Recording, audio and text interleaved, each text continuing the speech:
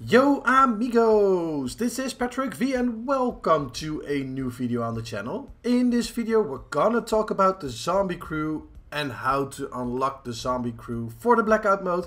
But before we're gonna begin, if you're new to the channel, definitely subscribe for more blackout videos. The footage that you see in the background is from one of my live streams on Twitch.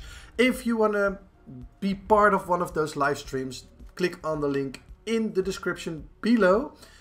With the patch of November 6th, Treyarch unlocked 4 of the zombie characters for you and for me to collect.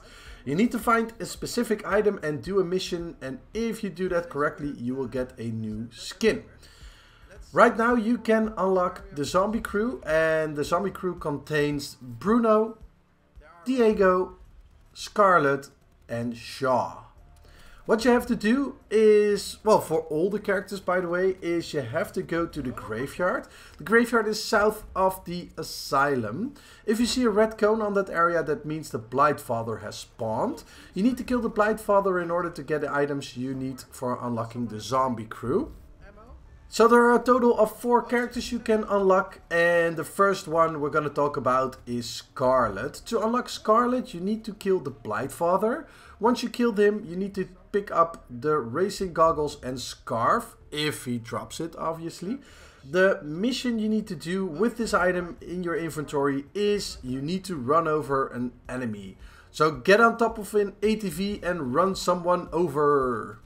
To unlock Diego, you need to kill the Blightfather. Once you kill him, if he drops a pulp magazine, first off, pick it up. Next, you need to kill someone with a headshot. In solos, it's one headshot. In duos, it's two headshots. And in quads, it's three headshots. In duos and quads, downing someone with a headshot is enough. Not the hardest challenge, but still a good challenge. If you want to unlock Shaw, you need to kill the Blightfather and pick up the Alchemal set. Next, you need to kill two enemies with Wraithfire or an Acid Bomb. Now this is getting a bit harder, right? Wraithfire and Acid Bombs will be dropped if the Alchemal set is dropped from killing the Blightfather.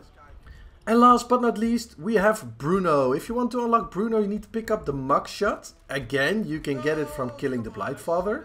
And this is definitely the hardest challenge because you need to kill someone with melee attacks. So this means your fist or bashing with your weapon. The tips I can give you for this challenge is get concussion grenades and pop the brawler perk and go bananas. This was it for this video. If you have any questions, definitely leave them in the comments below. If you're new to the channel, don't forget to subscribe and a like is always appreciated. Thanks everyone for watching and I will see you guys in the next one. Bye bye!